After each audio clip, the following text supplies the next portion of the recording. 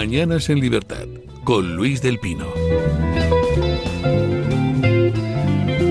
Bueno, te voy a empezar la tertulia, 8.31 minutos, 7.31 en las Islas Canarias, pidiendo perdón a nuestros anunciantes, a navarretintoibéricos.com, porque es que hoy no nos hemos podido resistir ni don Isaac Parejo ni yo y hemos empezado a comer el lomo antes de empezar la tertulia.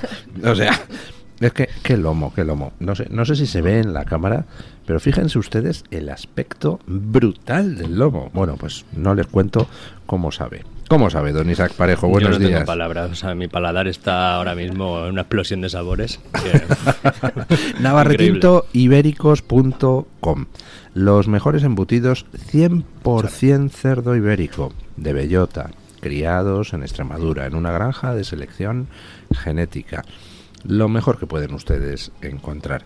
Y si entran en navarretintoibéricos.com, pueden hacer sus pedidos, pueden hacer pedidos de los embutidos en sí, o de las cajas de regalo, que son una auténtica maravilla, elegantes, completas. Y recuerden, si son socios del Club de Amigos del Toro TV, pues tienen un 10% de descuento. ¿Qué más se puede pedir? Pues se puede pedir, por ejemplo, que esté en esta mesa de tertulia doña Rebeca Argudo. ¿Qué tal está usted? Hola, muy bien. Se incorpora hoy, aprovechando, bueno, es que doña Rebeca vive fuera de Madrid, no siempre viene aquí a la capital del reino, pero cuando viene, pues, pues nos gusta contar con su presencia. Claro ¿Qué que tal? sí, yo encantada, ya lo sabes. Cada vez que, que caigo por aquí yo vengo, es visita obligatoria. bueno, ¿qué les parece a ustedes todo este follón? La verdad es que se ha eh, animado mucho esta precampaña de las europeas. El Viva 24 pues trajo aquí Vox a un montón de representantes internacionales entre ellos a Milley, que es un espectáculo en sí mismo. Y efectivamente, espectáculo estamos teniendo todo el del mundo y más espectáculo y esperpento. Bueno, yo eh, la verdad es que esto que está ocurriendo es el mayor sueño de un youtuber. O sea, de verdad, es- este, este, este beef entre Pedro Sánchez y Javier Milei, o sea, lo estamos disfrutando. Yo creo que ni en nuestros mejores sueños podríamos pensar que, que iba a ocurrir algo así. Y, y la verdad es que, bueno, yo cuando estu yo, estuve, yo estuve allí en el, en el Viva 24, de hecho tuve a Javier Milei a dos palmos de, de mí, y, y realmente no pensamos en ningún momento que iba a tener tantísima repercusión lo que dijo, porque eh, yo que llevo siguiendo a Ja- a Javier Milei muchísimos años, eh, de hecho es como uno de mis referentes, o sea, de mi forma de comunicar siempre lo digo que es que, es, que siempre me miro en el espejo de, de Javier Milei.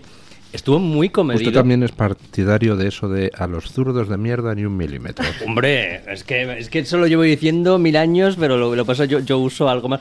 O sea, usted sí puede decir mierda, ¿no? Y a mí no me deja. Perdón, perdón, tiene usted razón. Mira, me, acaba- me acaban de pegar un zasca monumental. Claro. Sí.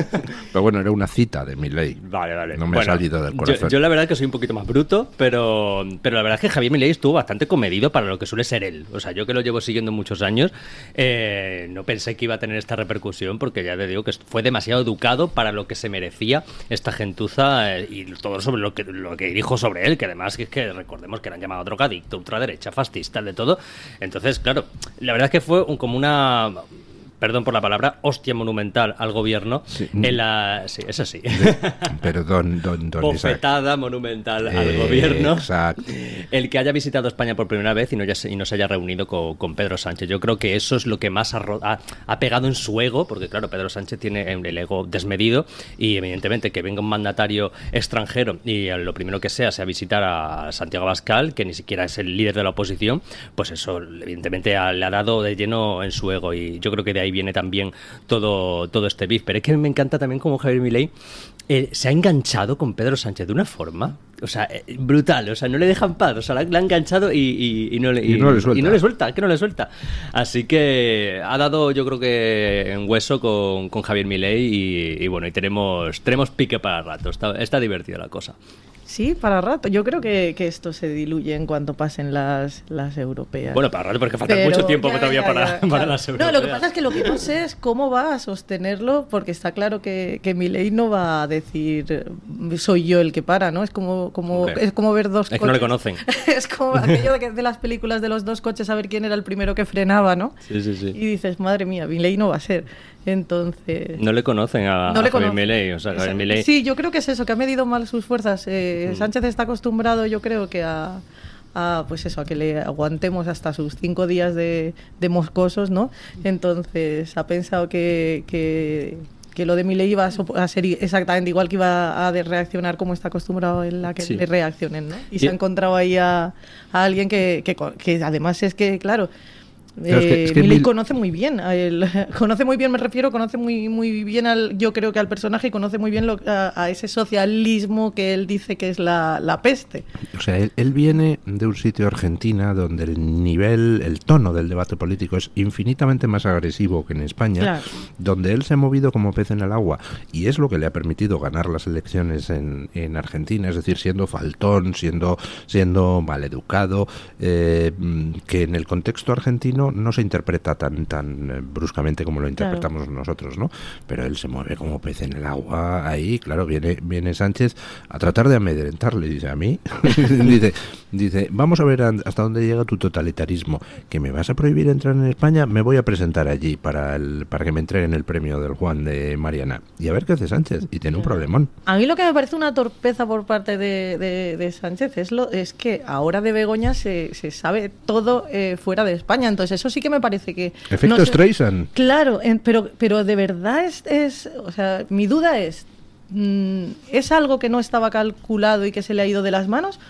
¿O visto lo visto, es que le da, este señor le da igual todo y es capaz de, de- de sacrificar, pues eso, a, la- a su señora y, y su, No, no me cabe ninguna que no duda. me, que claro, es que yo al principio pensaba que era que había medido mal sus fuerzas, pero cuando lo ves que es una y otra vez, una y otra vez y una y otra vez, dices, ostras, pues a lo mejor no es que lo haya calculado mal, a lo mejor es que realmente aquello que decíamos de es capaz de vender a su madre era, era literal. Yo, yo creo que realmente sí calculó mal las fuerzas. Yo creo que lo de Oscar Puente intentó ser una cortina de humo para que no se hablara de, de- de Begoña Gómez y lo que no se esperaba Pedro Sánchez es que la respuesta de Javier Milei fuera atacar a Begoña Gómez y no a Oscar Puente. Porque claro, Oscar Puente intentó eh, disuadir el tema, intentó irse por las ramas hablando de, de las supuestas sustancias que ingería Javier Milei. Entonces la respuesta se pensaba que iba a ser un ataque contra Oscar Puente, una respuesta contra esas difamaciones. Sin embargo, Javier Milei fue tan listo que dijo, no, mira, no voy a hablar de Oscar Puente, voy a mandar una carta y voy a, voy a hablar de lo que se está hablando en España, que es de la, de la supuesta y la presunta corrupción de Begoña Gómez. Y entonces así ha conseguido eh, colar el, el tablero internacional el caso de Begoña Gómez, que es que ya no se habla de otra cosa. Es que, es que me acuerdo que el día siguiente del día 24, el, el trending topic eh, en Argentina, no en España, en Argentina, eh, era mm, Pedro vigila a tu esposa. Sí, sí. O sea, era, era brutal. O sea, ya toda Argentina se ha enterado de, de los negocietes de, de Begoña Gómez, media Europa también, y es lo que ha hecho. Es la torpeza del Partido Socialista, que fíjate que suelen ser bastante listos en, este, en estos temas y son bastante genios del marketing. Pero ¿sabe, sabe usted cuál es el problema que tienen? Que están acostumbrados a un ecosistema, el español, donde ellos lanzan sus memes, lanzan sus mantras, eh, lanzan sus ofensivas y sus cortinas de humo. Y tienen toda una serie de medios comprados Claro. que amplifican aquello, lo aceptan sin ningún tipo de crítica. Pero amigo, aquí estás hablando ya de otro país. Vete tú a decirle a los periódicos argentinos que te compren la mercancía averiada. Entonces, algún periódico argentino de la órbita kirchnerista lo hará, pero el resto de medios argentinos está entrando a saco. Y además, con lo buenos que son los argentinos haciendo memes, pues están sacando todo tipo de cosas. Lo de Vergoña Gómez Bueno. es tremendo. Sí, es maravilloso. No, pero hay una cosa que dijo Javier Milei que tiene total, que tiene muchísima razón, que es que esto es una operación orquestada entre el kirchnerismo y, y el gobierno de España. O sea, Alberto Fernández está en España. Recordemos que Alberto Fernández, el expresidente de Argentina, eh, está en España. Bueno, había Em, pedido él disculpas, ¿no? En plan, era inaceptable. Es que es que. ¿Y ¿Quién había pedido disculpas? Fernández había Sí. salido ahora diciendo eso, que era inaceptable, que le daba vergüenza y que. ¿Quiere decir que, el- que Lo de? Milei, lo de Lo de Ah, lo de Milei, lo de Milei, Milei, claro, pero que, que es como que pedir disculpas este señor, que es expresidente, es un poco como, no sé, como, como, como, bueno, pues muy bien, pero que no tiene ninguna relevancia, ¿Qué es importa un ciudadano... Es, es como cuando dijo que lo de Oscar Puente era un simple comentario y que la Claro. respuesta de Milei era desproporcionada.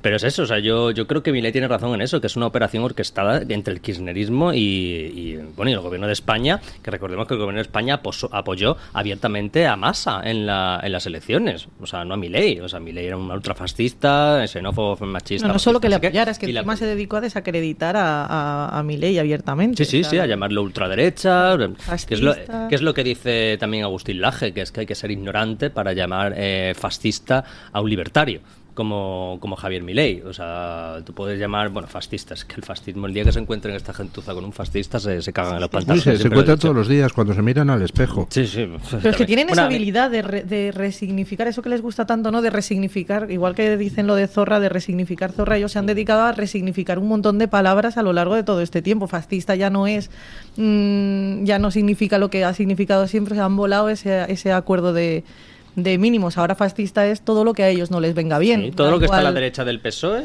ya eh, es fascismo. De hecho, yo hoy voy a sacar un vídeo a las 2 de la tarde que se llama eh, ¿Qué es la fachosfera y cómo pertenecer a ella? manual práctico. manual práctico para pertenecer a la fachosfera, porque todos somos la fachosfera, todos somos tabloides, todos somos eh, páginas webs, pseudomedios, pseudomedios, pseudoperiodistas y ellos son los únicos que tienen la verdad. El país, lo país es el único periódico que tiene la verdad en medio del régimen. Entonces, eh, yo creo que ha sido eso, se, se le ha ido de las manos a Pedro Sánchez desde este tema y, al final, pues eso, es que intentó desviar la atención con Begoña Gómez y es que al final le va a salpicar por todos lados. Y además, también os digo una cosa, yo creo que lo de Begoña Gómez es más mediático que otra cosa. Yo estoy convencido que al final eh, esto va a terminar en un archivo, eh, pero segurísimo, a pesar de que es un tráfico de influencias de manual eh, y lo voy a seguir diciendo y voy a seguir pensando. O sea, por mucho que esta señora haya hecho todas las triquiñuelas posibles para que al final parezca algo legal, hay varios hechos tangibles y empíricos y comprobables que son así, que esta señora se hacía un tour por África eh, negociando con los con distintos gobiernos en colaboraciones con su empresa a cambio de las subvenciones que daba el gobierno de España. Eso es, eso es lo que pasaba, ¿vale? Eso, eso es así, eso es real. Otra cosa es que luego eh, un juez no vea los suficientes indicios para que eso pueda ser considerado delito o no. Pero los hechos son esos. Y solo por eso ya es moralmente reprochable que la mujer de un presidente pueda hacerlo. A mí por eso yo pedía prudencia ayer a la gente con todo esto de la, investigación judicial a Begoña Gómez. Porque a mí el cómo eh, surge eso, es decir, eh, una querella no muy bien trabajada, que resulta que le cae a un juez que ha tenido algunos comportamientos, pues hombre, un poco llamativos en el pasado, por ejemplo, con unas diligencias sobre el tema de Venezuela, que se eternizaban en un cajón y tal, y hubo de hecho un enfrentamiento con... Yo también, yo investigué también sobre ese juez y no me entonces, la espina. Entonces a mí, como, como me da un tufillo y ya tengo más años que un loro y ya he visto aquí de todo, pues a mí no me extrañaría nada una jugada del tipo de dos días antes de las europeas se archivan las diligencias y cosas así. por eso, o sea, mi, mi, esposa es inocente, es algo triunfante, todo es un puro de la ultraderecha. Eh, exactamente, entonces, tranquilidad con ese tema. Ahora, que Begoña Gómez ha tenido una serie de comportamientos que cualquiera que lea el artículo correspondiente del Código Penal, eh, pues me parece que encajan con un guante con el delito de tráfico de influencias, pues eso es así. Entonces, bueno, independientemente de esta de esta peripecia judicial, es que puede haber otras, eh, sobre todo hay un asunto en el que me gusta hacer hincapié y es que Begoña Gómez al final es un grano, pero el cuerpo de la corrupción es otro. Estamos hablando de la trama corrupta donde estaba un señor llamado Coldo, donde estaba un señor llamado Álvalos y donde estaba su jefe, que es Pedro Sánchez, que es la trama corrupta de tráfico de material sanitario durante la pandemia, cuando nos tenían encerrados y decenas de miles de personas morían, eh, en algunos casos como, como perros, y perdónenme. Eso es el asunto. Lo de Begoña Gómez es a más a más, porque aparece por ahí brujuleando con algunas empresas que están relacionadas con esa trama. ¿Ha dado Pedro Sánchez alguna explicación sobre la trama Coldo? Pero no solo no ha dado ninguna explicación, sino que ni siquiera tanto que reclama herramientas pues para controlar a los medios, herramientas para... Y él no ha hecho uso de ninguna de las herramientas que ya están previstas para eh, luchar contra lo que él llama esos bulos. Quiero decir, hasta ahora que yo sepa, no ha tomado ninguna medida para ni siquiera no ha dado explicaciones pero tampoco ha tomado ninguna medida. Si estás tan seguro de que eso es una difamación de que eso es es que eso está contemplado. Denuncia. O sea es tan fácil como vaya usted y, y denuncie. Pero en lugar de eso lo que está haciendo es que identifiquemos pero eso lo llevan haciendo desde el principio identificar las instituciones con algo que es totalmente personalista. Ya lo hizo Armengol cuando en este mismo tema de las mascarillas utilizó el, el Senado para dar, para dar sus explicaciones personales. Bueno, se incorpora a la tertulia doña María Jamardo, que por haber llegado un poquitito tarde, buenos días, doña. Buenos días. Está castigada, ya queda menos lomo de navarretintoibéricos.com. Bueno, pero ¿no? siempre se siente, es se proteína siente. de la buena. Siempre es bien recibida. Bueno, estábamos comentando, doña María, eh, ¿cómo está viendo usted este enfrentamiento mm, eh, de Pedro Sánchez con el gobierno argentino? Este hacer eh, de lo que es un asunto personal, que es la potencial corrupción de su mujer, pues un asunto de Estado, como si preguntar por la corrupción de su mujer fuera atacar a España. ¿no? Bueno, además eh, dando por hecho que el conjunto de los españoles nos sentimos ofendidos, ¿no? Sacando conclusión de la parte por el todo o, o extrapolando eh, las sensaciones de la parte por el todo. Creo que forma parte de un teatro político que Sánchez maneja a la perfección. El primero que arrastra por el fango del que acusa a muchos otros Pedro Sánchez es el mismo a su mujer cuando la expone públicamente y da una Era dimensión lo que comentaba usted antes, al- doña Rebeca. al caso eh, que no tiene más trascendencia que la doméstica hasta que él internacionaliza esa situación. Nadie conocía eh, la eh, profesión de Begoña Gómez en el exterior, no era un personaje público desde el punto de vista de ser conocida antes de ser la mujer del presidente del gobierno español y es él el que en esa carta y refiriéndose con todo lujo de detalles a esa persecución, a esos pseudomedios que le tienen mucha manía y que quieren perjudicarle, pues eh, la pone en boca de todos eh, los eh, periódicos, de todas las cabeceras internacionales que opinan, que hablan de drama king, que bueno dan por hecho que hay una crisis política en España en la que el presidente del gobierno realmente en algún momento se planteaba dimitir por una cuestión que tiene que ver con la reputación que en otros países eh, hubiera sido fulminante para cualquier mandatario eh, si hay la más mínima sospecha de que su mujer ha podido tener eh, incompatibilidades o ha podido incurrir en un presunto tráfico de influencias precisamente por la oposición que ostenta de mujer del presidente del gobierno y me parece que forma parte, insisto, de este teatro que empezó con esa carta y esos cinco días de reflexión y que le viene muy bien además en campaña electoral hacia unas europeas en las que el PSOE estaba absolutamente hundido, al menos en los sondeos y en las encuestas, y en el que parece que ha reflotado, eh, como siempre, eh, alentando ese monstruo imaginario de que viene la extrema derecha, que viene la extrema derecha, yo soy el muro de contención que va a evitar eh, que nos eh, gobierne, ¿no? Y, y creo que le viene muy bien y yo creo que incluso debería fletar el Falcon para que vuelva Milei a España porque le está haciendo la campaña maravillosamente bien a Pedro Sánchez que se encuentra cómodo y que quiere alargar este conflicto cuanto más tiempo mejor. Pero nos dais cuenta como siempre la, la- la campaña del Partido Socialista siempre es la misma, o sea que es contra la extrema derecha Sí, y en el fascismo. es que yo siempre pongo de ejemplo el, el, el doble- el famoso Doberman de Felipe González en el 96. Era que viene el fascismo, la España en blanco y negro. Pues llevan como 40 años, pero es que siempre les funciona, es una cosa espectacular. y lo de. Bueno, bueno, algunas lo- veces mejor, algunas veces peor. ¿no? Yo creo que casi siempre le sale bien. O sea, porque al final el Partido Socialista nunca desaparece. O sea, al final que siem- siempre está ahí, que es un partido que para mí debería ser legalizado. Pero en fin, el- lo que decías, eh, lo que decía usted, Luis del Pino, sobre el, eh, que Begoña Gómez es un granito, es que es así. O sea, Begoña Gómez es una parte insignificante de todo lo que es la trama Coldo, la trama PSOE, porque es que esta señora, eh, bueno, tienes lazos y co- conexiones con la trama Coldo, que es, bueno, que es la trama PSOE. O sea, recordemos que esta señora se reunía con empresas en secreto, que luego eran rescatadas con dinero público, empresas que se dedicaban a transportar el material sanitario. Eh, Francina Bengol el otro día confesó que ella negoció directamente con la, con la trama Coldo ese transporte de, de- de mascarillas, unas mascarillas que estaban ahí que est- muertas de risa porque son mascarillas falsas.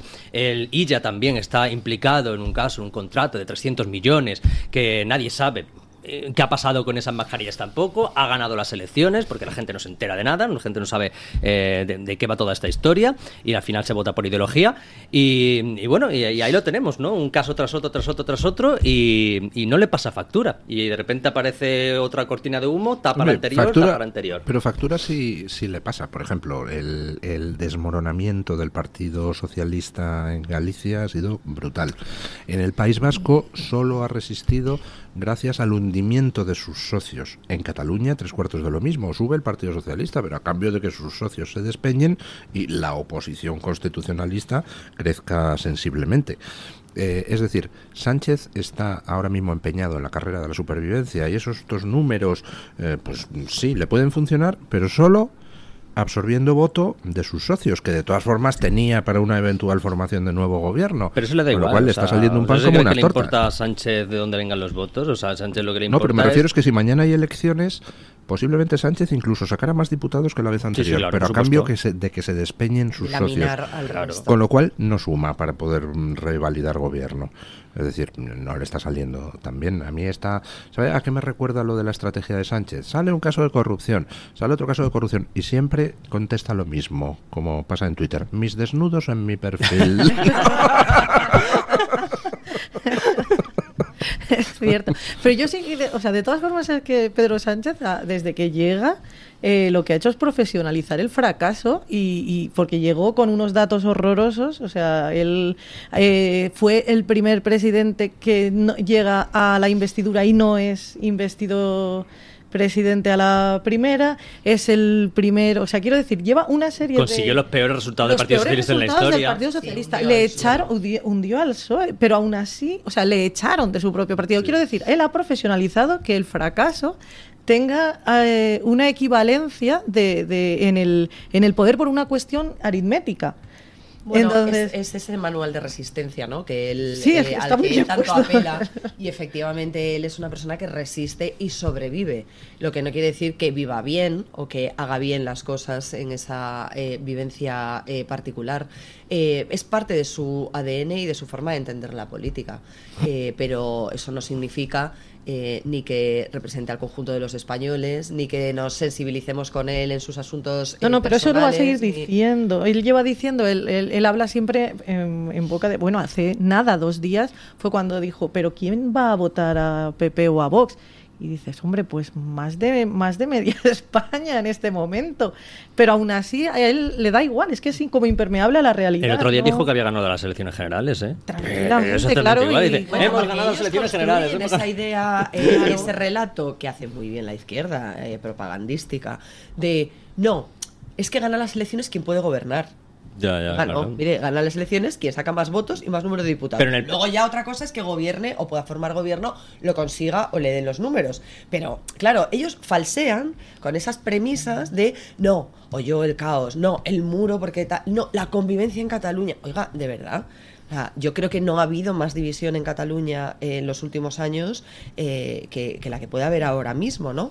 En, en términos de, eh, bueno, polaridad, en términos en la que él se mueve muy bien, le gusta esa confrontación, le gusta esa separación. Pero porque sabe que es lo que moviliza a la Bueno, izquierda. Es, esa es que, polarización es que hay un ese- enemigo común que puede más que las diferencias que unen a aquellos que dice él que son progresistas y de izquierdas. Me río yo del progresismo y de la izquierda eh, del señor Carles Puigdemont, por ejemplo, o de los señores eh, de Bildu o de los señores del PNV, por decir algo. ¿Hay alguno- pero, pero hay- vamos, él se mueve en esa situación de si no me apoyáis a mí, mirad lo que tenéis enfrente. La alternativa es mucho peor. Hay algunos eh, tertulianos de alguna televisión que tú conoces que no piensan lo mismo, ¿eh? que dicen que es que Cataluña está muchísimo mejor desde que está, desde que ha ganado el PSC, porque ha habido, hay menos manifestaciones, hay menos ruido en las calles, Bueno, el siempre va a haber independentismo menos ha bajado. manifestaciones y menos claro. ruido en la Hombre, calle cuando es cuando ganen ellos porque, Claro, porque por- eso es, es que eso es de cajón no porque- significa que no haya descontento significa simplemente que ellos son muy ruidosos No, no, porque evidentemente que si tú tienes un gobierno que le da absolutamente todo lo que quieren a los independentistas, ¿qué van a hacer? Pues callarse la boca. Claro. Pues es lo que pasa en el País Vasco. En el País Vasco, ¿por qué no están pidiendo un referéndum de autodeterminación? Porque tienen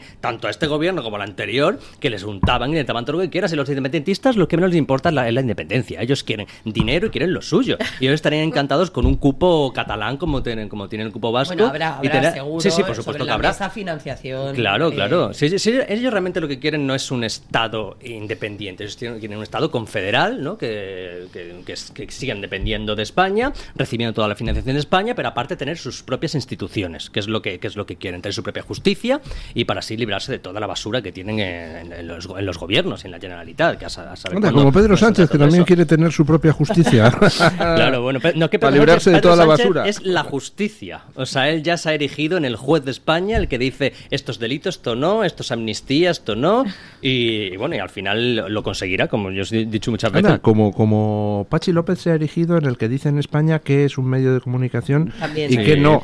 No sé si tenemos, don Julio, el corte de Pachi López eh, no contestando ayer a Vito Quiles en el Congreso. Vamos a escucharlo. Sí, hola, portavoz. Ya que usted exige respeto, quería preguntarle si entonces van a pedirle perdón a Milei por haberle llamado fascista, drogadicto o mala gente desde el gobierno. Y rápidamente, en segundo lugar, también saber por qué creen ustedes que está mal que Milei critique a Begoña Gómez, que está siendo investigada por un juzgado por corrupción, cuando ustedes también lo han hecho con Ayuso, que no está siendo investigada por ningún juzgado. Muchas gracias. De nada. Portavoz, usted cobra 113.000 euros al año de dinero público para responder a los medios de comunicación A acreditados. lo- efectivamente, a los medios de comunicación.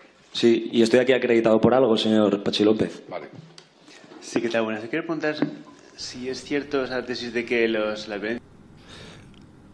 O sea, le recuerda al periodista, oiga, que no puede pasar de mí como que usted está aquí para responder a los periodistas, que usted cobra 113.000 euros al año.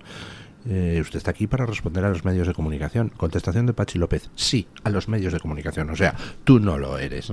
Anda, ya están definiendo qué es un medio de comunicación y qué no. Por supuesto, medio de comunicación es el que le lama las botas, ¿no? Sí, y además es que han también, lo que han hecho también es, bueno, crear esta neolengua en la, en la que determinados medios lo consideran página web. El debate, por ejemplo, es, es una página web. Bueno, es una De página hecho, web. sí, sí, Como claro, pero que... los medios que tienen páginas web Pero- para sí, pero llama- divulgar sus pero llama- noticias e informaciones veraces en eh, formato pero que, digital. Pero que yo me acuerdo que, Claro. o sea, que esto, que, pero que esto ya se ha, se, se ha divulgado, era ya algo general, ¿no? No, no, y se ha insta- se- instaurado, se ha instaurado esa el lengua. que yo- recuerdo el otro día que, que estaba María Gemardo con Ramón Espinar en un programa y bueno, y Ramón Espinar eh, dijo abiertamente que bueno, que el debate era una página web, una página web porque ya han dado la orden a todos sus voceros de que a determinados medios los llamen página web. Yo le digo desde aquí a Pachi López que estoy en proceso de acreditarme en el Congreso también, o sea que dentro de poquito voy a estar también ahí preguntando y dándole por saco. Así que si no quiere contestar a Vito Quiles, ¿Que va pues- usted- sí, me voy a acreditar. usted Hombre, en para el algo tengo yo Congreso? un medio de comunicación.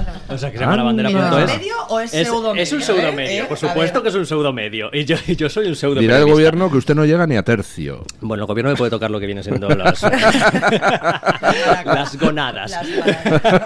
Pero el problema, el problema Eh, es eh, señalar mira, a los oye, pseudónimos, le tengo que aplaudir. Sí, Muy eh, bien. eh, ha eh, dicho gónadas. Llevo, muy llevo bien. una semana estudiándome el, el diccionario de sinónimos y antónimos Buscar para... nuestro léxico claro, algo que no sea vulgar, por favor. claro, es que... No, decía que el problema de señalar estos pseudomedios que dicen ellos y de que sea el poder quien marque esa línea es que si compramos esa, esa idea, no se va a acabar ahí la cosa. Lo siguiente va a ser como, como las fichas que caen cuando sacabas un cuando sacas una y caen el resto, o sea, los, y luego se irá estrechando más. Pseudomedio será pues los siguientes por abajo. Claro, Todo. hasta que quede el PRAP, siempre- So- hasta solo que el quedará lo país El país. hasta que quede lo país, que, que Y la será el régimen, y, Y la y la cadena SER, y ya está. pasó en el segmento político, es decir, antes de Oh, los un medios de momento. comunicación. Pausa publicitaria y nos lo cuenta. El Toro TV también es Radio Libertad. Hospital Psiquiátrico San Francisco de Asís y Comunidad Terapéutica San Antonio. Infórmese en el 952 20 14 64 de Málaga o en www.hospitalsanfrancisco.com. Sabores Sierra de Madrid nace del cariño hacia la tradición y la elaboración artesanal del embutido, una empresa familiar situada en la Sierra de Madrid. Todos nuestros embutidos están elaborados con las piezas nobles, principalmente pierna y paleta, utilizando los mejores aderezos y tiempo de secado para obtener un sabor único como el de antaño, en su mayoría 100% natural. La especialidad es el embutido de ternera IGP Sierra Guadarrama, premiado en 2023 como el mejor chorizo del mundo especial, siendo pioneros en la elaboración de este embutido y reconocidos con la M Producto Certificado garantizado por la Comunidad de Madrid. No hay excusa, prueba y regala embutidos premium Sabores Sierra de Madrid. Sintoniza la libertad en tu radio. Radio Libertad. Escápate de Madrid. Ven al restaurante El Torreón en la cima del Monte del Pardo.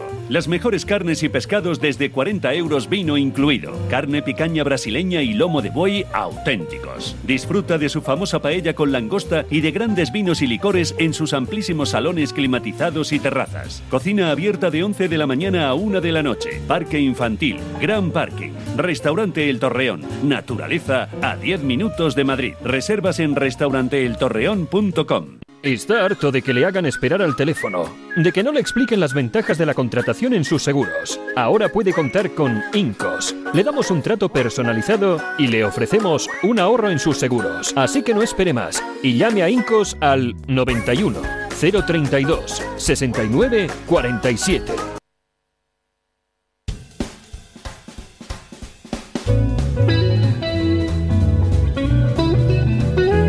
Mañanas en Libertad con Luis del Pino.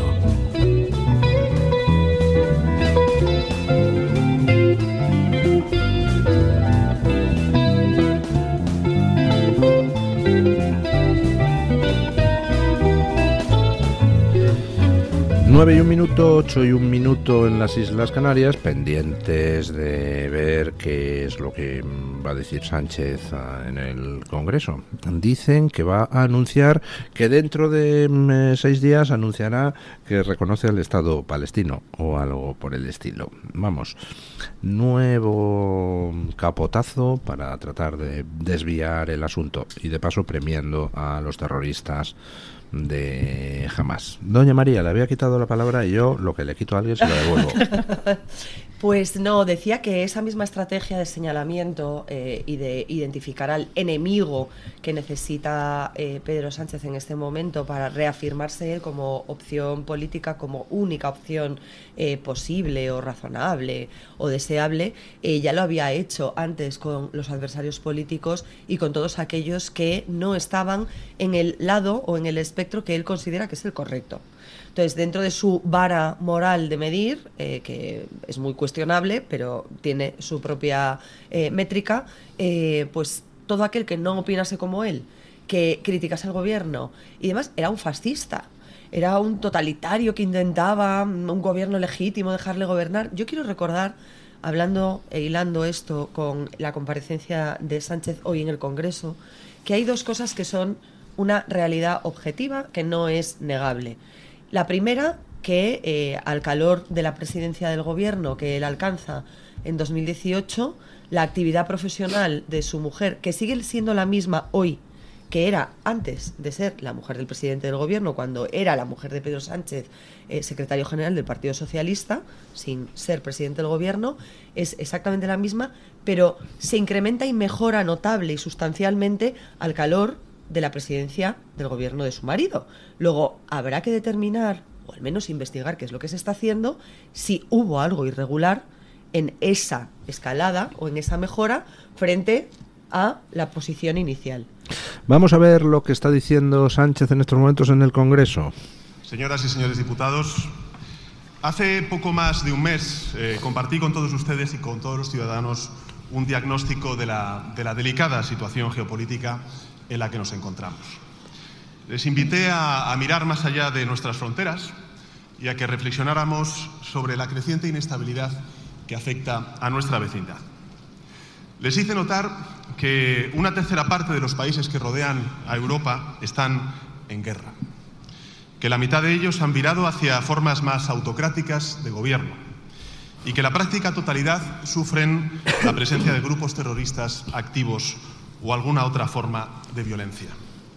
Lamento decir que en estas últimas seis semanas, desde la última comparecencia ante ustedes, la situación no ha mejorado, ha empeorado.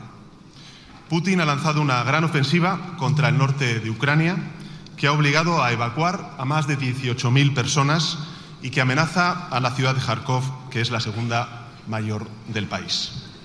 Georgia ha aprobado una ley represora que la aleja de los valores y del proyecto que representa la Unión Europea y la acerca a la Rusia de Putin.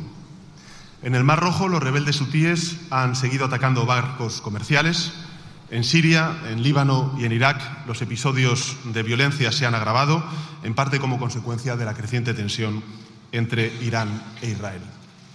Mientras en Palestina, el primer ministro Netanyahu ha continuado su destrucción de Gaza. En estas últimas seis semanas han muerto allí 1.600 civiles, muchos de ellos niños y niñas, y han aumentado en cientos de miles las personas que viven en situación crítica debido al inicio de la operación en Rafah y al bloqueo de la ayuda humanitaria. Al mismo tiempo, Francia y Estados Unidos han confirmado que van a reducir su presencia militar en el Sahel. Tremendo lo que está diciendo. O sea, dice Benjamín Netanyahu sigue con su proyecto de destrucción de Gaza. Vamos a ver si hay respuesta del gobierno israelí. Esto sí es un insulto a Israel. Y dice que prohíbe la entrada de ayuda humanitaria a Israel. Pero como tiene tan poca vergüenza, cuando Israel es quien abrió un segundo paso para que entrara la ayuda humanitaria y eran los miembros de Hamas los que disparaban a los palestinos que trataban de abalanzarse sobre la ayuda humanitaria. Económica, con más ayuda a quienes se defienden de agresiones injustas e ilegales. En mi última intervención en esta Cámara me comprometí a desplegar una política exterior ambiciosa y coherente con los valores y los principios de los españoles. Somos, señorías, un pueblo pacifista y respetuoso con la Carta de Naciones Unidas. Lo demostramos hace años, rechazando la participación de España en la guerra ilegal contra Irak. Lo demuestran hoy miles de jóvenes que en manifestaciones y también en acampadas universitarias expresan su repulsa ante la masacre de Gaza y del resto de territorios palestinos.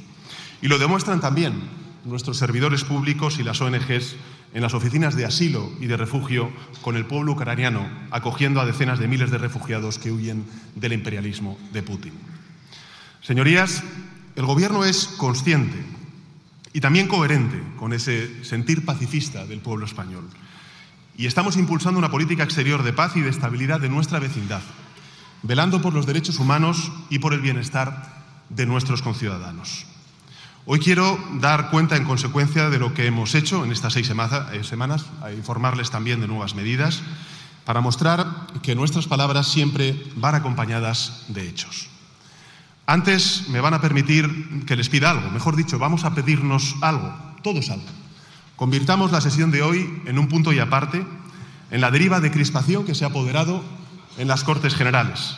Debatamos, discrepemos, critiquemos los argumentos del otro pero hagámoslo desde la cortesía parlamentaria, no desde la mentira y el insulto a los otros oradores.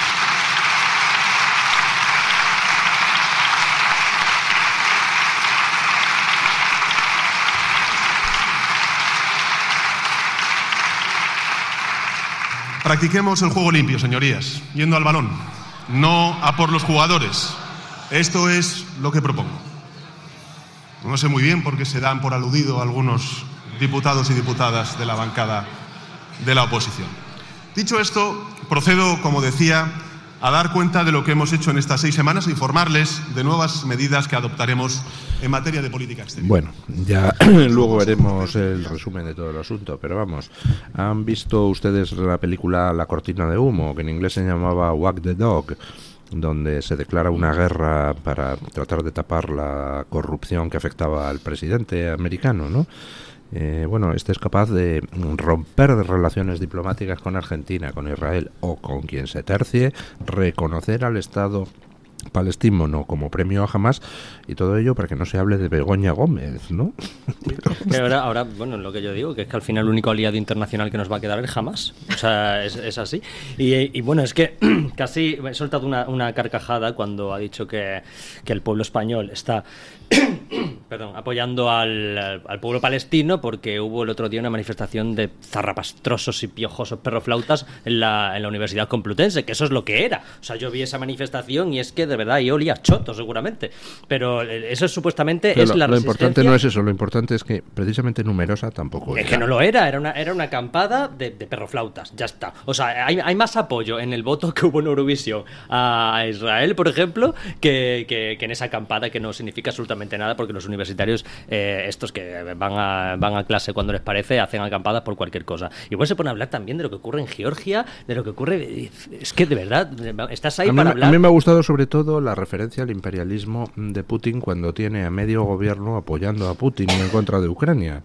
Sí, la no, no referencia tiene límites. Al, apoyo a la guerra de, de- o sea, al apoyo de Aznar a la guerra de, de- de Irak también ha hecho la referencia porque cuando no te deja sa- pasar una. Cuando te saca la guerra a Irak, Claro, es que ya es, eso es sacar, ya- sacar en un- cuando saca es como, como hablar del nazis, ¿no? Es, es como es Sí, como sí, el faltaba de, Franco, ostras, eh, faltaba sí. Franco, el 11M y el Guerra Irak, y el Prestige no lo ha sacado porque no, lo- no porque no tiempo, ya, dado ya- porque ya lo sacar también, pero eso- es, lo, es lo que hace siempre el PSOE y siempre, siempre le funciona, sacar sus temas Bueno, y luego me ha gustado mucho que, que dijese que sea esta comparecencia un punto y aparte y que vamos a rebajar el, el nivel y a ir a por, la, a por el balón y no por los jugadores. Me parece muy... Sí, pues muy mira, Pedro, Sánchez que se monta aquí, pedale, aquí, donde está la cámara. Sí, sí, piensa que vamos a rebajar el nivel.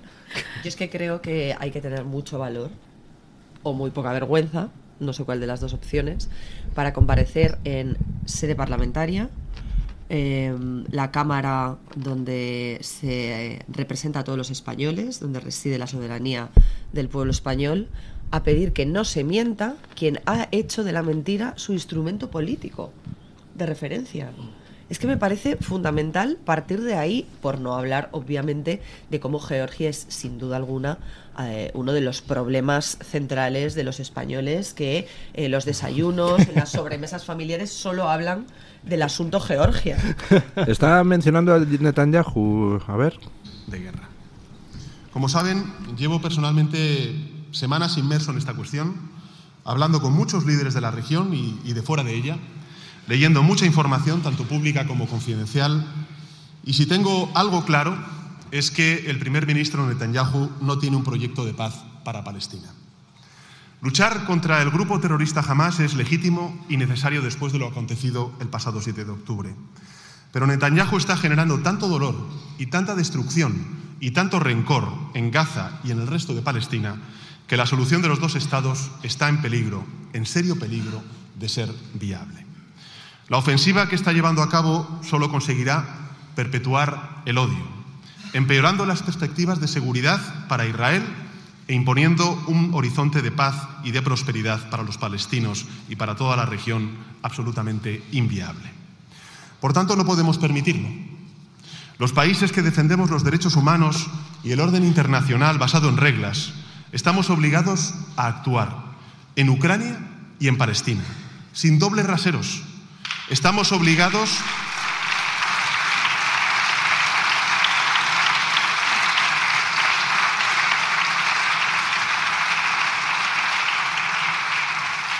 Estamos obligados a hacer cuanto esté en nuestra mano, mandando ayuda humanitaria, como estamos haciendo, asistiendo a los refugiados y desplazados, como estamos haciendo, pero también usando todos los resortes políticos que están en nuestro alcance para decir alto y claro que no vamos a permitir que se destruya por la fuerza la posibilidad de los dos estados, que es la única solución justa y sostenible a este terrible conflicto. Por eso, señorías, quiero comunicarles que tras haber consensuado la decisión entre los dos partidos que formamos el gobierno de coalición progresista y haciéndonos eco del sentir mayoritario del pueblo español, el próximo martes 28 de mayo España aprobará en su Consejo de Ministros el reconocimiento al Estado de Palestina. ¡Hala! Premiando a los terroristas de Hamas por el pogromo más sanguinario, salvaje y cuantioso desde los campos de exterminio nazis.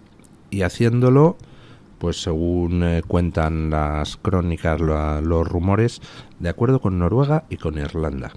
Es decir, al margen del resto de los países que conforman el occidente democrático. Pero ¿de dónde se saca que es el sentir mayoritario del pueblo español? Porque es que él es el pueblo español. Claro, no Es sé es claro, que yo o el caos y él se ha erigido en el Estado soy yo. El gobierno ya se ha convertido en el Estado que no es desde luego el gobierno eh, equiparable al Estado y además él habla siempre por boca de todos desde el momento en el que pone a su mujer en el centro eh, por eh, presuntos delitos que la rodean de corrupción y considera que un ataque a esa situación concreta de una persona concreta que además es particular, que no tiene estatus de alto cargo de institución, que no tiene ningún estatus especial, que es tan plebeya como el resto de los ciudadanos que todos los días nos levantamos a, a trabajar y hace de ello una cuestión de Estado, o sea, ya sabemos qué dimensión está adquiriendo esto. Él habla en nombre de todos. Sí, pero es que yo repito, o sea, yo creo que una es que es algo importantísimo. Sí. Yo creo que es una decisión trascendental que, que España reconozca a, a un Estado que, bueno, para mí, en mi opinión, es como Narnia. O sea, es un Estado que, que no existe Que y, que nunca ha existido y, y que, bueno, que está gobernado por terroristas. Entonces me parece gravísimo que tome una decisión de esta forma amparándose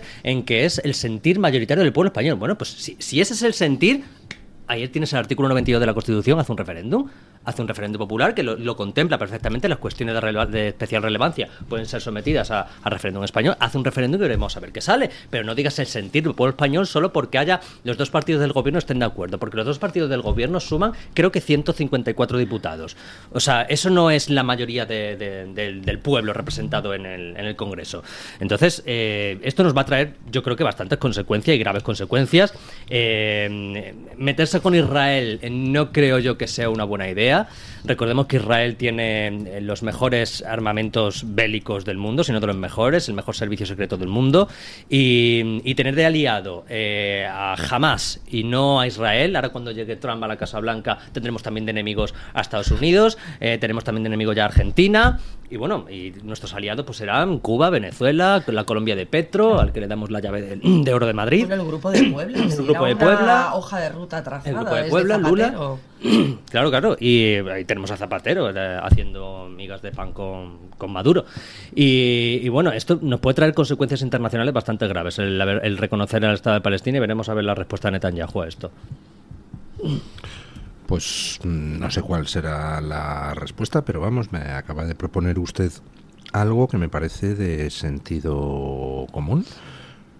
Hágase un referéndum entre los españoles a ver si queremos reconocer el Estado palestino en estas circunstancias.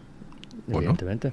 Evidentemente. O sea, es que yo creo que, lo que se puede hacer perfectamente. No un referéndum sobre Cataluña que a nadie le importa, nada más que a una parte concreta de Cataluña, pero esto es una decisión que afecta a España de forma unánime y general, porque puede, eh, bueno, nos puede acarrear bastantes problemas el reconocer a algo así al margen de la Unión Europea, que no sé tampoco en qué se amparan Irlanda y, y cuál es otro país, Noruega, Noruega. para, para hacerlo. O sea, no- Bueno, pero no ellos entiendo. sabrán en sus estados. Pero Sí, bueno, nosotros tenemos que referirnos al nuestro.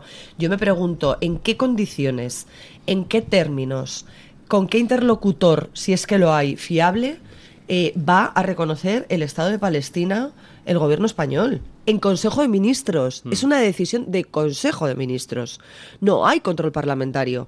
Es otro decretazo del gobierno de Pedro Sánchez que impone su voluntad sin tener una mayoría parlamentaria propia.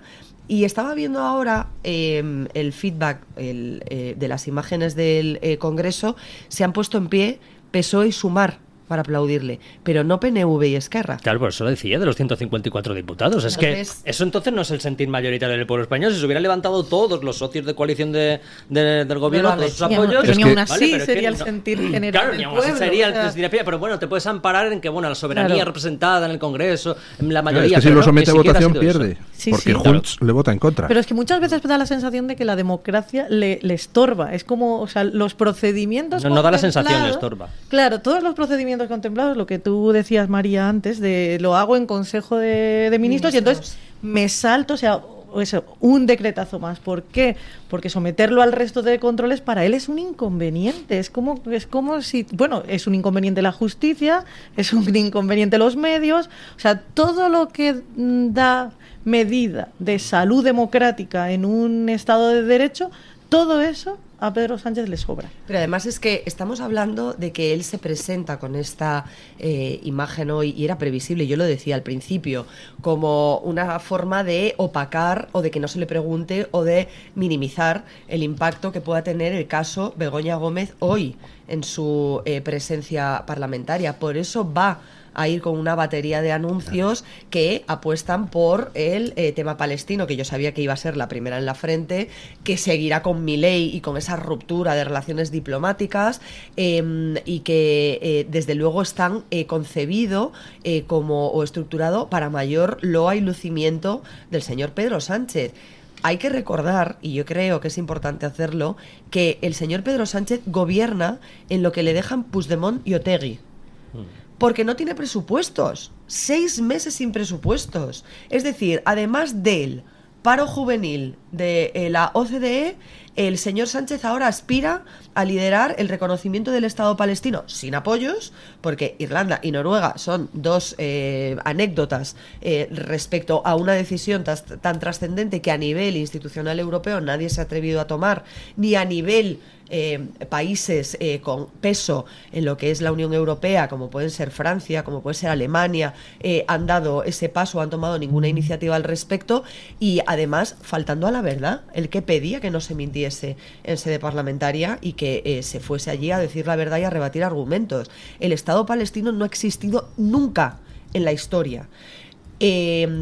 Las ocasiones en las que se les ha ofrecido a los interlocutores, Yasser Arafat, uno de ellos, el reconocimiento del Estado palestino, todos han negado la posibilidad de convertirse en un Estado, porque el negocio del terrorismo de Hamas, el negocio del radicalismo en la zona, pasa por victimizarse frente a una potencia identificada como el enemigo que tiene eh, nombre y apellidos y que es Israel.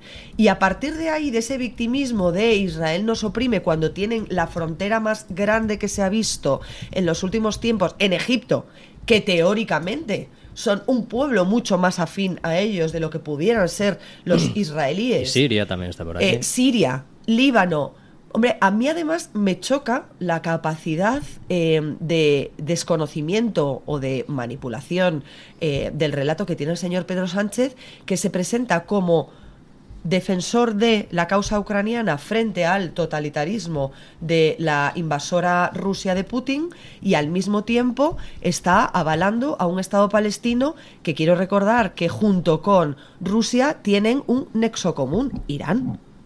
Irán es quien está detrás de todas las políticas de geoestrategia de la Rusia de Putin para tener incidencia o control sobre el área occidental de la antigua o la vieja Europa. Pero es que además financia a Hezbollah en el Líbano, a Hamas en, en, en Gaza, en, en la zona de Gaza.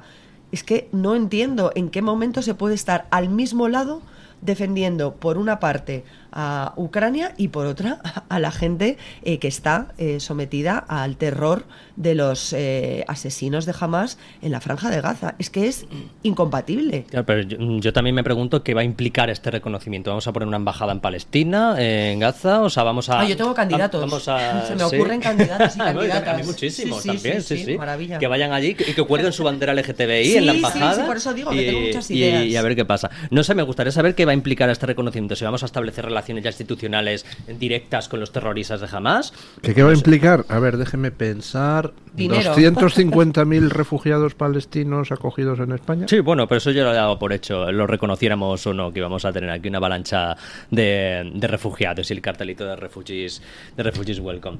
Pero bueno, eh, a mí también me gusta mucho hablar cuando se habla de las, de las víctimas eh, de Palestina, que nadie las niega, por supuesto, a pesar de que la ONU haya rebajado ¿En qué ese número. no hay víctimas? ese- Discúlpame. No, no, sí, ¿En qué por no supuesto. víctimas? a ver, pero es que solo se hablan de unas. Ya. Solo se hablan las, de, las del Estado palestino. Aquí parece que lo- la masacre que ocurrió el 8 de octubre no existe. O sea, ese se ha olvidado ya. Parece que se, ha- se ha Bueno, olvidado. para algunos de los ministros fue una defensa, o sea, fue un acto de defensa. No, no, defensa la de totalmente legítimo. Defensa la de Israel. Yo veo Claro. todos los sábados eh, en Reino Unido y en otras eh, ciudades, en otras capitales europeas, eh, manifestaciones de simpatizantes de la causa palestina que tenéis que ver el perfil de los simpatizantes de la causa palestina, que no vivirían eh, ni tres segundos, no, sobrevivirían los- en Gaza. Los que bajo había en la- en acampada. no, no sobrevivirían ni 10 minutos con esas eh, ideas, esas eh, eh, proclamas, esos eslóganes y esas Mm. actitudes eh, en Gaza, ni 10 minutos, insisto. Eh, y el lema que han utilizado es desde el río hasta, el mar. Todo será Palestina. Esto es llamar al exterminio Mm. del pueblo de Israel y todo lo que representa, desde el río Jordán hasta el mar, es decir, hasta donde está Egipto, porque realmente solo el paso de Rafa permite ¿no? comunicar esa zona de Gaza eh, eh, con, el, con el mar. Pero lo que llaman es a borrar a todo aquello que esté geográficamente situado en ese área Pero mira teo- cómo- territorial. pero y mira nadie cómo se escandaliza con esa llamada al genocidio. Nos parece un lema muy um, guay, No, no, muy progre. Si algo retiraron de Reina no, Sofía hace poco una exposición que tenía ese, le- ese nombre. Desde el río hasta el mar todo será Palestina. Palestina será libre. Entonces, ¿qué significa? Asolar todo lo que tenga que ver con Israel. Israel lleva décadas defendiéndose de los ataques de misiles que llegan desde el Líbano de manera permanente, eh, lanzados por Hezbollah, financiados por Irán, con eh, refugios antiaéreos, con los niños educados para crecer eh, con los sonidos de las bombas o del aviso de las bombas. Ha tenido que cubrirse como ningún otro país ha hecho en el mundo con lo que nosotros conocemos como la con la cúpula de cúpula. hierro para defenderse en el aire con un sistema de varias eh, de varios eh, círculos concéntricos que tiene más o menos alcance y capacidad de detección de distintos misiles a distintos eh, niveles para minimizar el impacto porque si no Israel sería un solar sería un solar hoy en día Claro, y, y lo que es, y lo que sería un solar sería Palestina si Israel quisiera, que es lo que, que es lo que nadie cuenta, porque es que se habla mucho del genocidio de Israel, de Netanyahu, y digo, vamos a ver, si eh, Netanyahu, si Israel quisiera hacer un genocidio en Palestina el mismo 8 de octubre, al día siguiente Palestina habría desaparecido, porque Israel tiene la capacidad para eso, y no lo ha hecho. Esa es, la, esa es la, razón por la que Israel no quiere acabar con Palestina, pero Palestina sí quiere acabar con el Estado de Israel. Pero bueno, y también cuando, cuando hablaba de las víctimas, que evidentemente en todas las guerras ah, hay víctimas, pero hay que recordar que la ONU, la ONU, fíjate, la ONU, que ya sabemos lo que es, ha rebajado, creo que a la mitad, el número de víctimas que decía jamás que, que había. Pero, Porque, pero, claro, pero lo importante, lo importante, yo creo que ahí a veces entramos en debates un poco estériles. Lo No, pero importante, Luis, lo digo- lo digo porque- importante no es si jamás miente con las cifras, que miente. Lo importante no es que los medios occidentales compran esa basura sistemáticamente y de manera crítica, que es verdad. Eh, aunque las víctimas fueran la mitad, aunque las víctimas fueran la décima parte, aunque solo hubieran muerto 100 niños y mujeres palestinos, seguiría siendo una tragedia. Lo importante es señalar que el único responsable de esos muertos palestinos, mujeres y niños, sean uno, 100, 10 o 3 millones, es jamás. Es jamás. Que evidentemente yo siempre lo digo que, que, la, el Hamas, el gobierno de, de Palestina, los usa de escudos humanos y lo dice, no es que bombardean hospitales, sí, pero es que no te cuentan que debajo de esos hospitales hay túneles que usa, que usa Hamas para llevar su armamento. Y que antes eso- de bombardearlos se avisa, evacúen. efe- Efectivamente, antes de- de bombardear se avisa siempre para que evacúen y, la- y el propio grupo terrorista es el que impide a la población escapar para que mueran todos y luego ir con el relato vic- victimista de que han muerto no sé cuántos niños. Y bueno, también hay que contar eh, eh, cómo eh, Palestina eh, jamás crea sus superproducciones, ¿no?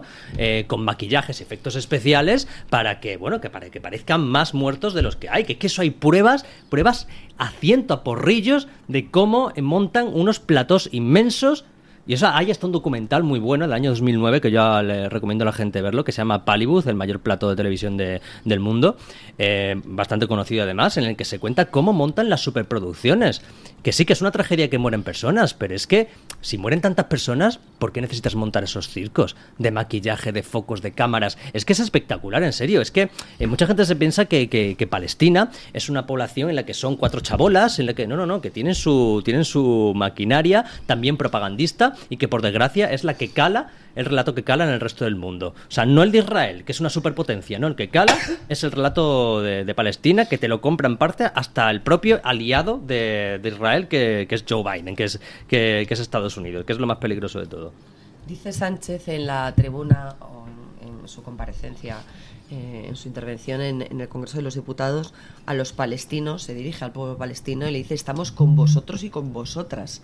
Yo creo que jamás que debe utilizar el lenguaje inclusivo, es una de sus, de sus ¿no? eh, programas eh, centrales o de sus líneas centrales en el programa electoral, debe estar fascinado. O sea, yo si fueran los terroristas de Hamas, estaría aplaudiendo, pero vamos, hasta hacerme sangre en las manos de aplaudir, porque, eh, o sea, el nivel de una persona, de un líder político occidental, que desde su tribuna occidental, desde su seguridad occidental, desde el desconocimiento profundo de lo que sucede en Oriente Medio y la historia de Oriente Medio, que dice que ha leído mucho en los últimos en las últimas cinco semanas para conocer la geoestrategia de la zona, cosa que ni siquiera los expertos y muchos de los que hemos viajado, estado allí en primera persona, hemos llegado a entender porque la complejidad eh, de lo que sucede es mm, mayúscula, a proporciones mayúsculas.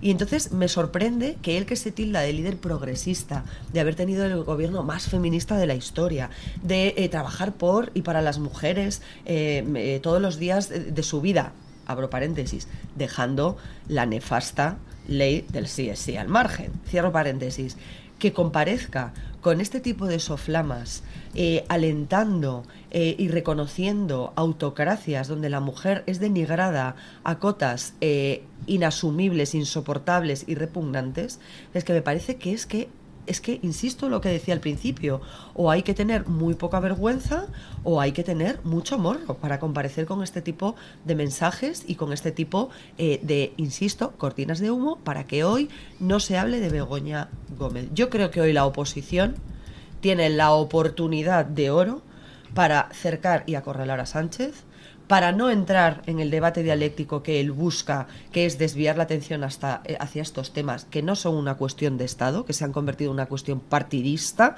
de la que intenta sacar rédito y desde luego deberían acorralarle con el caso PSOE, el caso Begoña Gómez, la imposibilidad para gobernar que tiene, eh, sin presupuestos generales, la dependencia absoluta de las decisiones de Otegi y Puigdemont en clave nacional para poder sacar adelante cualquier iniciativa legislativa y de verdad, o sea, ya retratar a este señor que está en una situación crítica.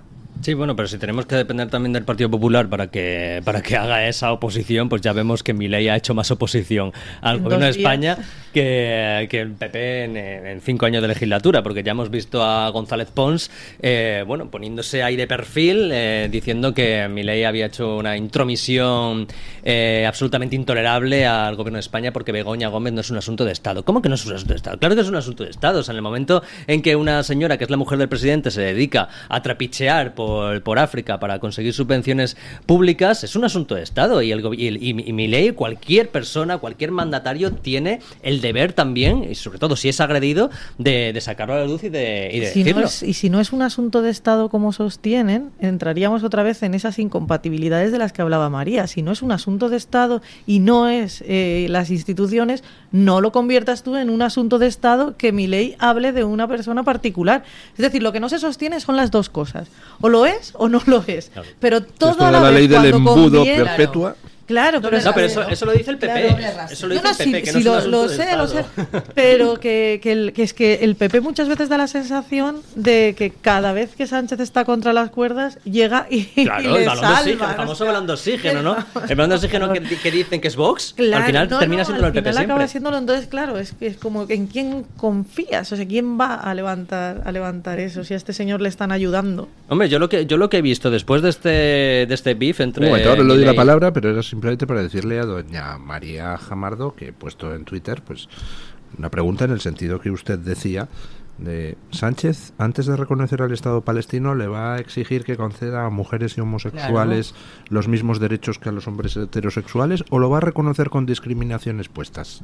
Yo eso a mí eso Es me, un- una pregunta yo he llegado, interesante. yo he llegado a ver hasta banderitas LGTBI en las que ponía Queers for Palestine. No, el 8M, el día en, la, en la manifestación del 8M, eh, coreaban trans con Palestina. Sí, sí, ostras. Y, eso, y, y lo- y luego me llaman a mí gay homófobo, ¿sabes? Digo, joder, digo, Queers for Palestine. Claro. Digo, vete, yo, yo es lo que, lo que dije después de Eurovisión, digo, todas estas mari que se vayan a mariposear a Palestina, a ver qué les pasa, a ver, qué le a ver cuánto duran. Digo, a ver, que, que vuelvan y me lo cuenten, que no me lo van a contar porque van a estar muertos, pero que, pero que vayan y, y lo comprueben de, de primera mano. ¿A quién mandarán de embajador a Palestina? Intentaron buscarle una salida a Irene Montero, ¿os acordáis? De embajadora al otro lado del charco, cuando se quedó la pobre sola y desvalida después de el batacazo ¿no? Eh, electoral y de cómo ha ido desapareciendo, desapareciendo Podemos, laminado por esa postura extremo izquierdista que está adoptando el Partido Socialista desde la llegada de Pedro Sánchez. Cada vez está más escorado, más escorado, más escorado y por eso no crecen a su paso las eh, opciones alternativas a su izquierda como podrían ser Sumar o como fue eh, Podemos, las lamina, las fagocita, ¿no? Eso es, esa absorbe, es su estrategia. En lugar de crecer al centro, ¿no? Tradicionalmente en España en las campañas electorales había dos grandes bloques de votantes eh, del bipartidismo.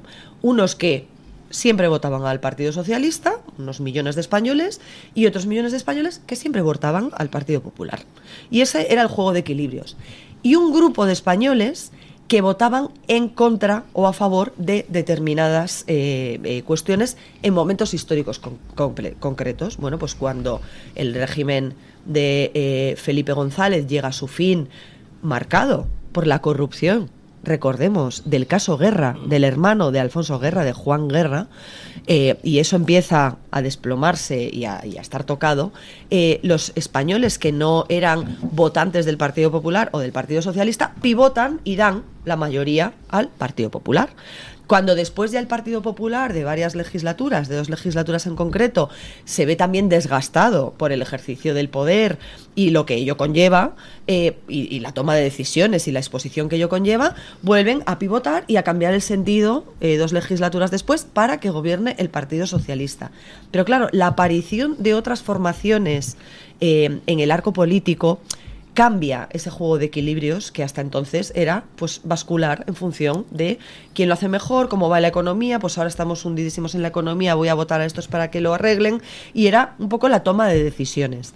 Con la entrada de otros partidos en el espectro, en el segmento político, esto se desvirtúa y hay algunos votantes que deciden cambiar o que deciden elegir su opción política porque se sienten más identificados. La clave en aquellas mayorías absolutas del Partido Socialista y del Partido Popular estaba, pues, por lo tanto, en convencer a ese electorado que no tenía una asignación concreta o permanente, eh, siempre la misma para votar a sus eh, favoritos. Pero todo eso salta por los aires. Exacto. Y Pedro Sánchez, ¿qué ha optado? No por seguir creciendo por el centro e incluso convencer a los votantes moderados, que podríamos llamar así, de una derecha que podría asumir ciertos postulados socialistas si está descontenta con la gestión de mi partido. Es que Pedro Sánchez ha hecho todo lo contrario, escorarse y ampliar el espectro a base de asumir el relato, los postulados, el populismo, las técnicas, y los métodos de la extrema izquierda.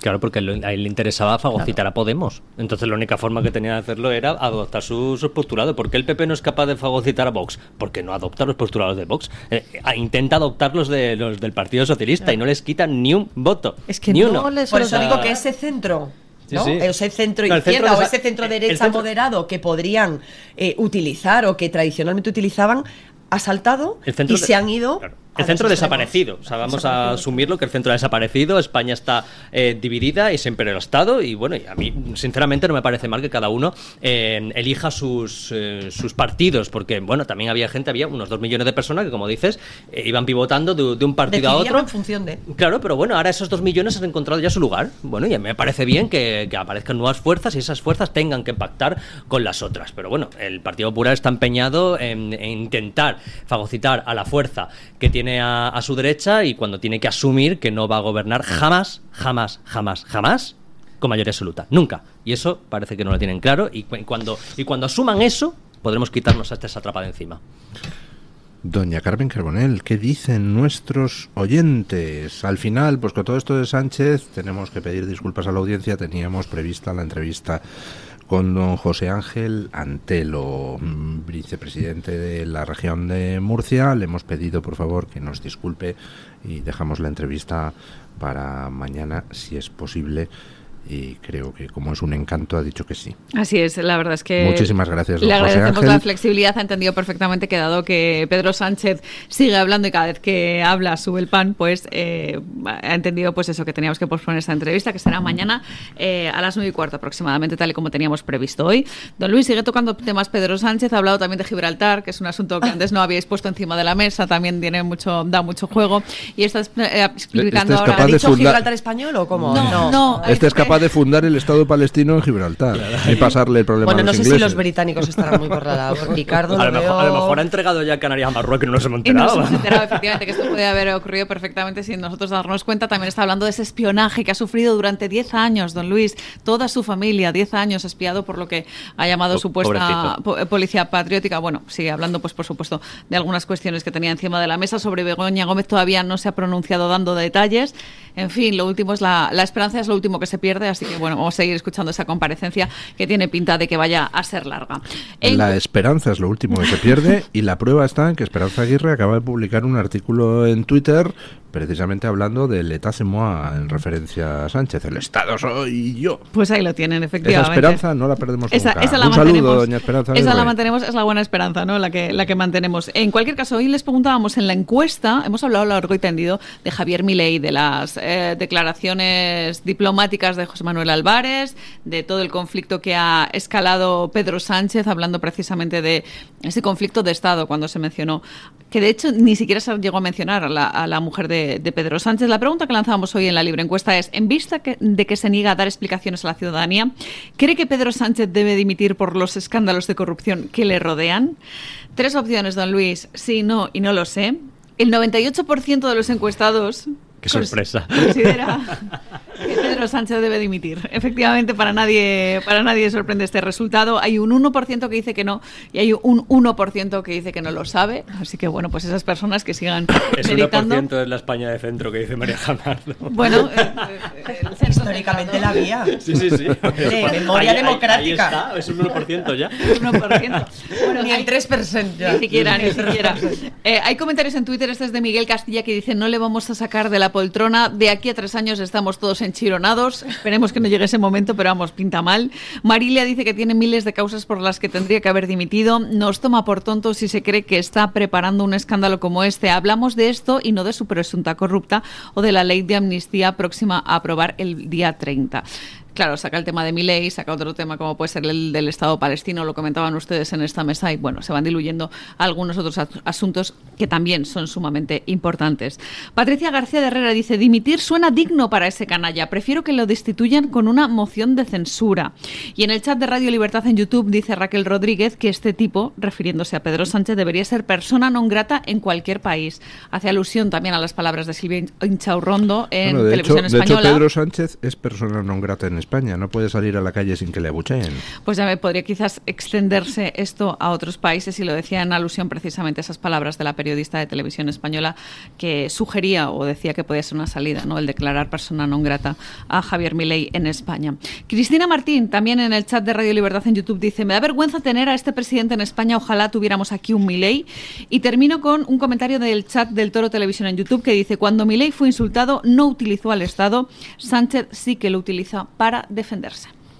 Bueno, yo añado un comentario que nos manda doña Ana Stafford, que dice que está encantada eh, al oír a don, a don eh, Isaac Parejo, que lleva una semana estudiándose los sinónimos para tratar... Para que me dejes hablar. Yo no puedo. Es una tercera de nivel, hay que venir preparado, hay que saber latín para estar en Madre mía, tú- no, no sabes lo que yo me, me tengo que morder la lengua cada vez que vengo aquí. Luego, Pero- so- luego, claro, pero- llego a YouTube y suelto todos los espumarajos juntos. Estoy aquí. pero, pero que cuando sale de aquí sale, sale con, con la satisfacción del deber cumplido. Sí, pero me siento reprimido. Me, opri- Pero, me- me- pero me aquí, oprimes, don Luis. aquí tenemos que dar eh, lecciones a gentes como Oscar Puente, que se mueve muy Ah, bien exacto. en eso y tenemos que diferenciarnos. Yo ahí Yo me estoy- diferencio de él, soy peor que él. Sí, sí. Por eso digo. Bueno, muchísimas gracias, doña Carmen Carbonell. Eh, ha sido una votación a la búlgara. Sí, Tengo curiosidad. 98%. Ya sabemos cuál va a ser la libre encuesta de mañana, ¿no? Evidentemente. Eh, entiendo que vamos a preguntar de nuevo por Pedro Sánchez y el Estado palestino. Eh, exactamente. Bueno, don Isaac Parejo, muchísimas gracias A por usted. estar aquí. Ahora ya puede, según salgamos de aquí, si se espera usted cinco minutos, decimos unos cuantos improperios juntos en mitad de la calle. ganas. Doña María Jamar Pardo, muchísimas gracias. Gracias. por estar con nosotros, Gracias, como siempre. Y doña Rebeca Argudo, muchísimas Muchas gracias, por esta incorporación, gracias. pero con una reconvención. No sea usted tímida, con estos dos tiburones de la Bueno, palabra, es que no, tiene usted que yo tacar, te- hacerse sí, con el Tengo micrófono. que. Voy a yo también a. a- a Hay que- ir practicando, hay a que ver si. bueno, muchísimas gracias. Hacemos una brevísima pausa publicitaria y nos vamos a entrevistar a doña Teresa Serrano del grupo Index sobre una promoción inmobiliaria que a lo mejor les interesa. El Toro TV también es Radio Libertad.